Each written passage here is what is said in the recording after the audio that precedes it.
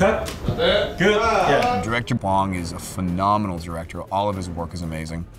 And, and you could tell by the, the, cast he was attracting. Tilda Swinton had already jumped on board, and Ed Harris and John Hurt. Just wonderful. Octavia, Octavia. Just amazing, amazing actors. It was Bong Joon Ho that I signed up to, and I would have signed up to anything he put my way, frankly. These are actors who jump on projects for the reason of, you know, an allegiance to an artist. They're not there to make money. They're not there to do it their way.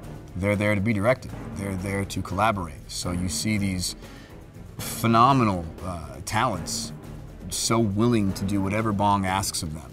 Um, and that's how it should be. These amazing actors were, were acting as if it was their first film. Um, and, and whatever Bong asked of them, they did. It was beautiful.